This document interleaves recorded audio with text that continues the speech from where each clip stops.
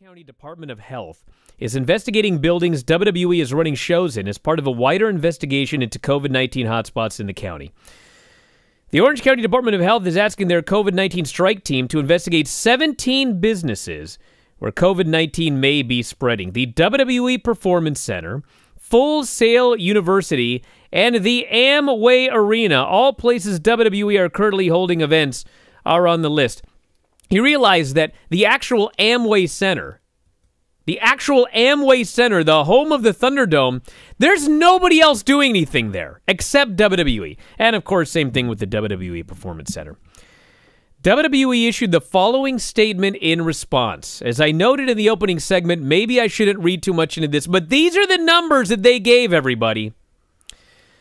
WWE is not open to the public, but rather operating on a closed set with only essential personnel in attendance. As part of ongoing weekly testing protocols, Aventis Labs have administered more than 10,000 PCR tests to WWE performers, employees, production staff, and crew, resulting in only 1.5% positive cases as compared to the current national average of more than 5%. Additionally, extensive contact tracing takes place. Impacted individuals are placed in 14 day quarantine and then only cleared after they test positive. So let me repeat that one more time. Aventis Labs have administered more than 10,000 PCR tests to WWE performers, employees, production staff, and crew, resulting in only 1.5% positive cases. Do you know what that means if you do the math?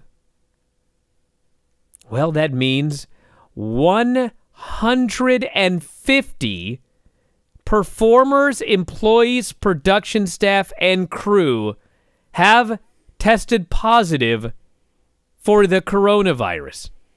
Now, granted, we knew that there had been a large outbreak and there are no official numbers because WWE never released official numbers. But I mean, we'd heard around 38 for the big one.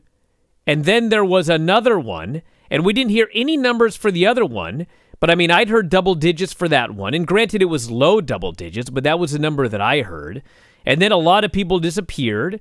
And to be fair, like some of those people that disappeared, that was contact tracing disappearances. They actually didn't have it but they had been around people who did have it. But the fact of the matter is, WWE, in their own statement, is essentially saying 150 positive tests. That is insane. And by the way, by the way, I know for sure that there have been individuals that tested positive, and then people that they lived with or or their families, they ended up getting coronavirus. That would not even be counted in WWE's testing. So, that is a crazy number of people that have contracted coronavirus directly as a result of WWE. I mean, they could have said 1%. They could have said 0.5%. Like, if the number was 50, why wouldn't they have said 0.5%? Because that's much more impressive than 1.5%. I believe they basically admitted 150 people involved in WWE, directly involved in WWE, have contracted the coronavirus. And that doesn't count anybody that those people spread it to. That is incredible. Do you think any of them hung out at the guilt bar? Dude, That's I don't know.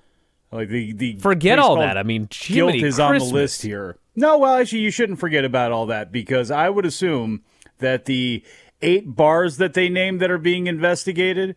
I, I have a feeling that more wrestlers may have maybe gotten together there as opposed to oh, dude, oh, they're all know, over the place. The Jesus School or Starbound Performers, which is two of the other places that they're looking at. Because when you pull those names off, it's it's bars and it's WWE on this list. It seemed to take most of it up.